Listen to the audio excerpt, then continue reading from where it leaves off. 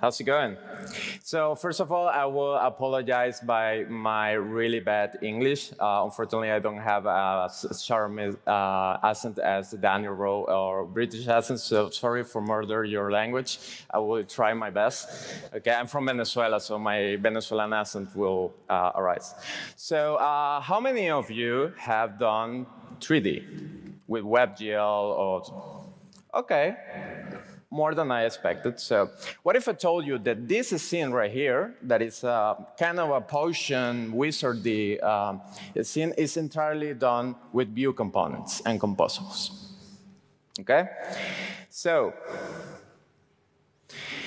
in the beginning, the name of my uh, presentation today was going to be Tres.js, a declarative way of doing 3D with web components. But I have been playing Hogwarts Legacy like crazy the last year, and I thought to myself, oh, let's change it, okay? Uh, boring naming, let's change that. And I come up, well, no, ChatGPT comes with this, uh, Tres.js and the Chamber of Vue, unlocking the mysteries of 3D rendering.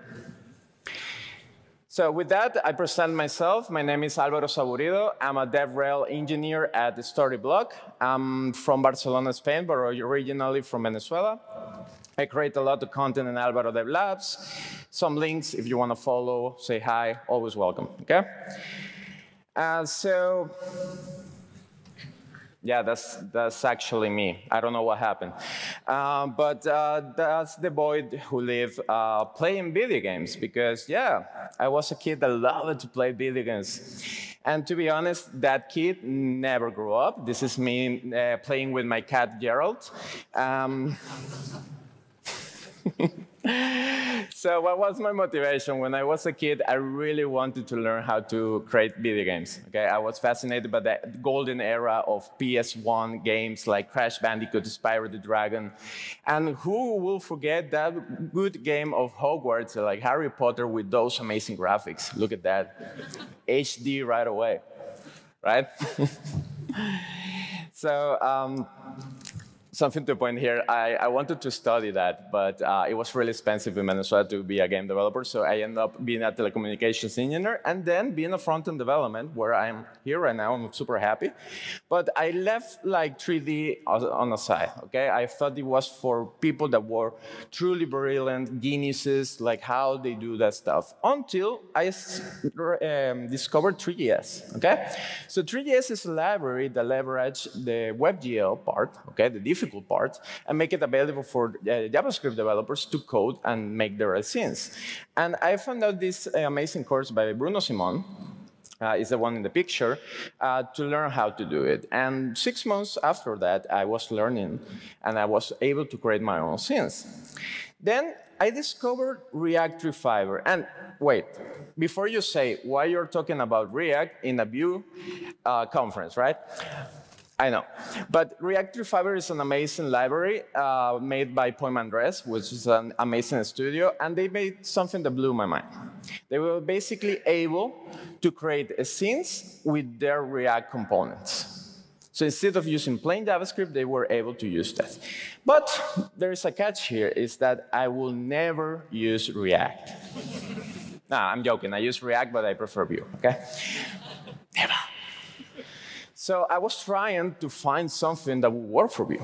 Okay, so I came up with this amazing library of TroisJS. This is probably the one you know because it was the first one to try to do a wrapper.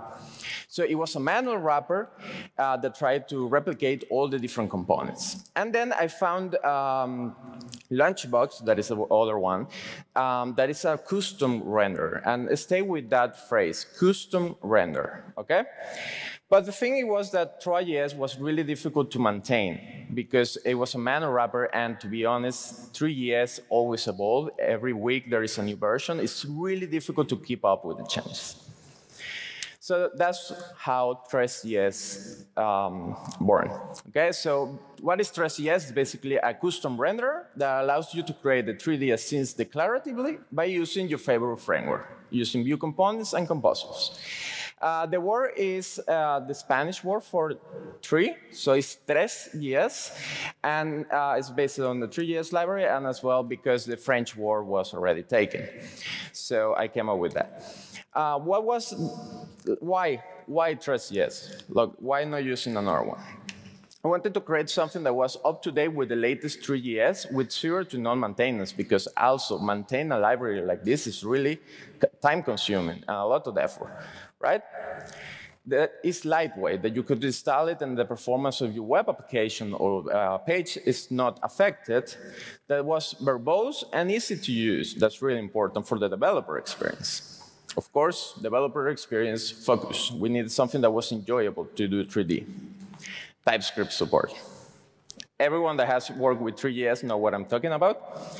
And uh, that could be performant even with reactivity, because uh, 3GS is powered with Vite. Okay, so Vite makes possible that all goes well. Uh, last but not least, I wanted to create a 3D ecosystem for the Vue community. Uh, myself and a lot of uh, colleagues where we wanted to uh, create 3D scenes and we were not able to do it because there was nothing like for, for Vue. Okay? So how we can get started is as pnpm add 3ds core, and as a peer dependency, you can install three so it's not part of the bundle. Or you can play with it on StackBlitz. And look how cool is this. Uh, I'm using a Slidev. So this is like uh, Markdown, okay? And I embedded one of the basic scenes right here. This is stress, okay? So you can put it on, on, on your um, on your slides. So um, first thing, like how to use it, right? So we need to set up a canvas. Uh, Three.js work with the DOM element, the canvas element, to draw everything, okay? So um, before we can create an scene, we need to import the Tres Canvas component from the core and add it to the template. Really important that everything that we want to render in or a scene needs to be inside because the Tres canvas will create a custom render that works for the 3D uh, scenes, like the Three.js instances and objects. We need, for setting up a scene, we need uh, three things. We need an object, and I always say three things, it's actually four, sorry. So we have the objects like the geometry, uh, the lights, the plane uh, simulating the ground. We need a camera to be able to see it. We need an, a scene to put everything together, and a render to render in the canvas element, in the HTML one. Okay? So how we can set up a scene. In the left part, yes, uh, we're to have how you can do it with Three.js, like vanilla Three.js. Okay, so you normally create a scene using the constructor 3 scene. Uh, it's visible, right? Yeah. Okay. Uh, you can do a camera um, by creating a perspective camera this way. And then you are going to pass the canvas into the render. You're using the WebGL renderer. And last but not least, you're going to use the method render to pass the scene and the camera. Let's do it the Tres.js way. Uh, you only need to import the Tres Canvas. Tres Canvas is handle everything from you, from resizing the screen, from adapting the aspect ratio, everything is covered. And then you just need to import a Tres perspective camera. All the components are the same name as uh, Three.js, but you only need to do a prefix called Tres. Now let's add an object. So if you were using plain Three.js, you're probably going to create uh, a geometry, okay? So uh, I'm using torus geometry, but um, it's a basically a donut. I don't know why they didn't call it a, a donut geometry. It's torus geometry, okay? And these are some of the parameters that you are gonna pass. Then we need to define a material. When the geometry is the structure or all the little pixels, uh, like uh, vertices and so on, the material is how the pixels are going to look like, how co what color they're going to have, like how uh, reflective they're going to be. Then you create the mesh. Sante. Uh, they're going to create the mesh. That is the combination between the geometry and the material, and then boom, you have your object. You add it to the scene, right? With TresJS, you have to import a TresMesh component, and we're going to use uh, Vue slots here to pass the torus geometry with some arguments. You can see that the arguments are exactly the same as we were passing to the constructor here. So you can pass any parameter for initializing the constructors using the args prop. Then we can do uh, TresMesh basic material and pass the color as a prop. That's also possible. And boom, we have a really ugly donut, but we made it. We have our scene, right? Cool. I love that meme. Um, okay, how, how, does it work in, in, the, in the underground, right? Um, we are taking the three latest, so we are taking the latest version of tree, and we are taking all the different instances, all the different properties, methods, everything, and we're applying a little bit of magic, which is the AKA the custom renderer. And then this is converting everything into Vue components that you can use. So let's talk about arguments, because we touched that point uh, just frequently, right? Um, you can initialize any argument, like you would do in, in Three.js, like this. Uh, the perspective camera, you are passing the field of view, the aspect ratio, and how far and near is it, these values right here. And the way of doing that in TreeJS is gonna, and TresJS is gonna be with the args prop. Then you have normal props, which are this, similar to the properties, okay? So you can pass them as this, and this is going to be similar to initializing the constructor empty without any parameter, and then just change it uh, dot, dot, dot, dot, and you're gonna have the same thing. I mentioned uh, Vue slots because you can pass parameters inside of the mesh to create something similar like this. So whenever you're passing components inside another component, it's going to do a reference as it was an attribute on the initial or the parent one. So yeah, let's do some demonstrum. Um, yeah, I know the, the, the, spell went wrong. And um, it's my first live coding, so be kind with me, please. Um, of course. ah, no, this is actually the page. Let me, let me check where is it. Uh, here. Ah, nice. Okay. So uh, you saw that it was black pitch, right? Because we need a camera to be able to see it. So here you have the most basic uh, uh, TresJS application. You have imported the Tres canvas, and I'm passing in a clear color, which is basically going to be the, the background color, okay? So here I'm going to do Tres perspective camera. I'm not going to pass any parameter, okay? I'm going to save, and then, where are you? Let me put it right away so I'm not doing this so often. Sorry about that. Now we can see the color that we defined. So we're on the right track, right? Now let's do something else. Let's add a cube. So the way we can use a cube is by passing TresMesh. And then inside of it, let's use the Tres uh, box geometry, that one. And this is recent because uh, in the version one, uh, we didn't have TypeScript. So this was an error before. Also, let's add a trash normal material. Let's save. And now we have a nice cube, right? Thank you. Oh, so, so glad that it worked. Okay, um, and we're gonna do another thing that is really cool. So I mentioned also composables, right? So we are gonna import a composable that is called use render loop. In gaming and in 3D in general, you are re, uh, rendering frame per frame. Because if you do an animation, you're going to render several pictures in a timely manner that UI is going to see it like smoothly, right? 60 frames per second, that's on. So Tres Canvas already does that for you. It creates that render loop. And you can access it by using the composable use render loop. So we're going to use the composable to animate our um, cube. And here comes something really important about reactivity and the use of TresJS.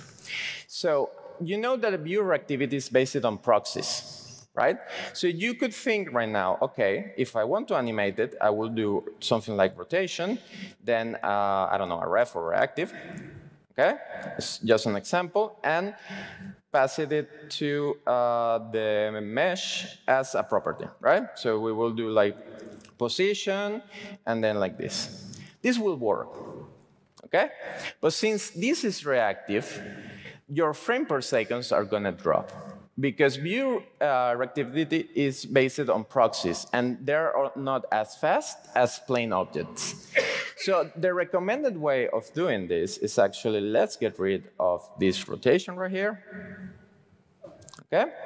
And we are going to use template refs. Uh, anyone familiar with template refs in Vue?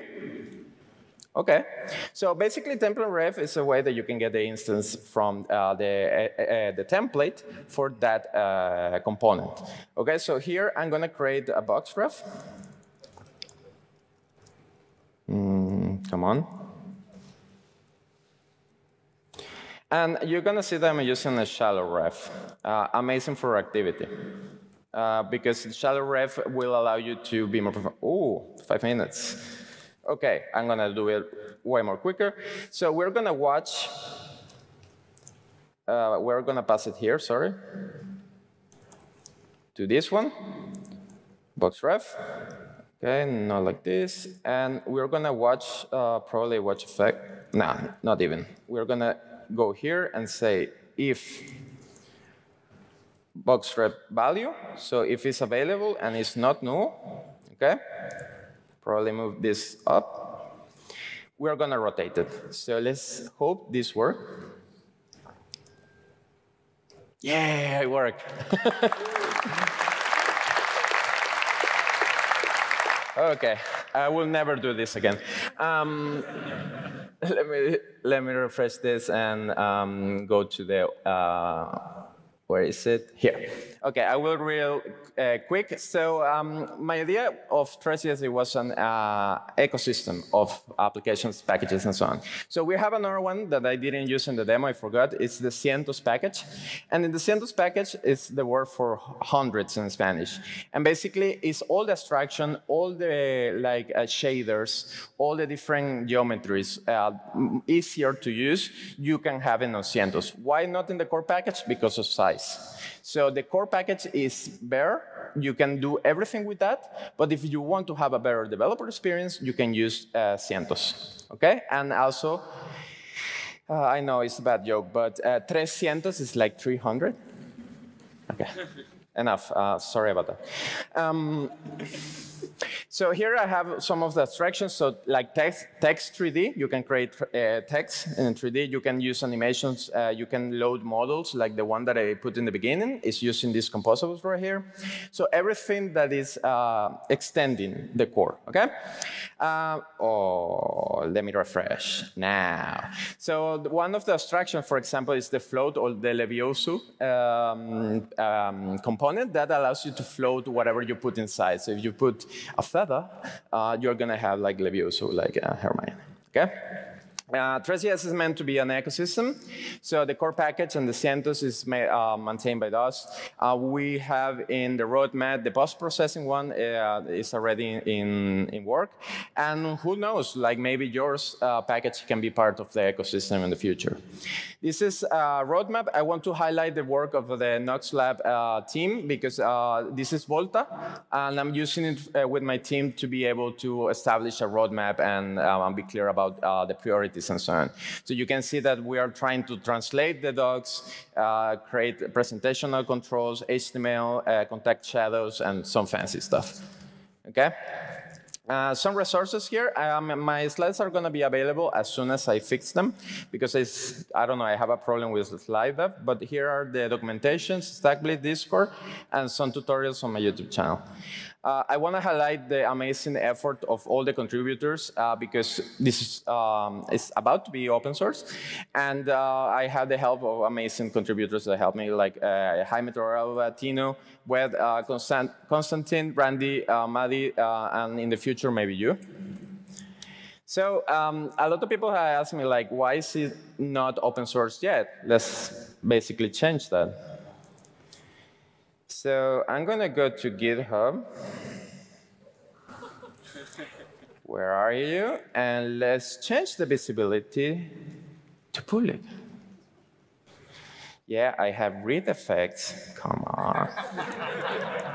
Seriously? This was meant to be my moment. Come on.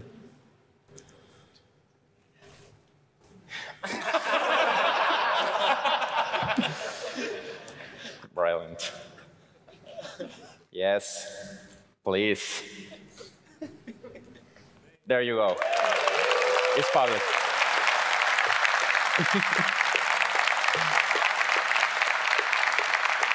so, from now on, version 2, we are going to release it today. This release candidate, but we are going to release it today as well as uh, Cientos package. And the rest of the packages are already there. Okay? And if I find myself again, I don't know how much I have, but I do want to say something else. Uh, no.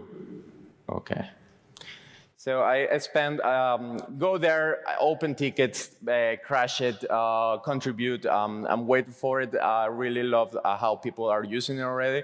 Uh, so show me your stuff. Uh, I will be more than glad to put it on, on, on the playground.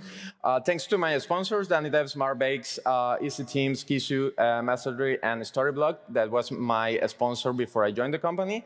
Um, right now, I'm setting up the sponsor for TresJS, so be able to also sponsor my, uh, my team.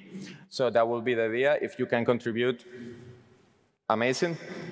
And a special thanks to Cody Bennett from the Poimandres uh, that helped me with the custom render API, Berekia, Patek uh, for their uh, showcase and help, Yael and Daniel Roe uh, for all the help, and also Shago from uh, Poimandres uh, team. So thank you very much.